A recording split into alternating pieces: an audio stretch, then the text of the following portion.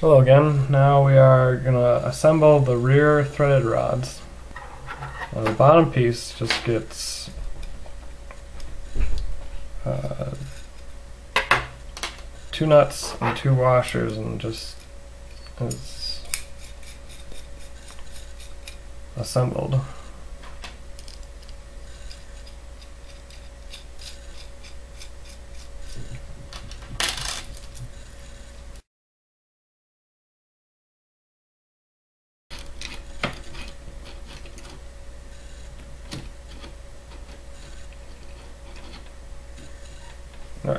Top piece.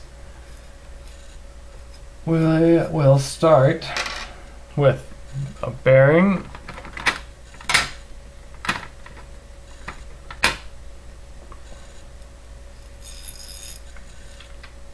And sandwiched in between two washers. And the two big washers.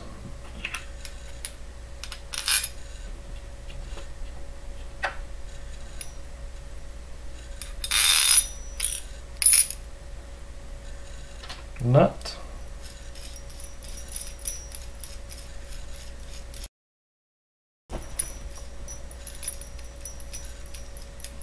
Both sides.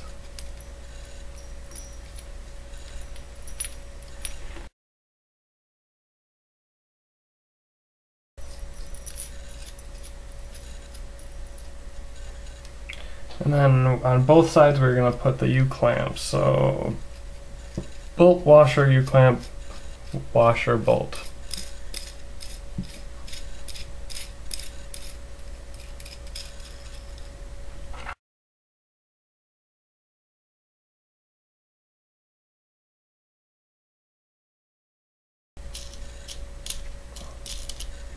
And the connection pieces, so bolt on both sides and then the washer, and then we'll assemble that.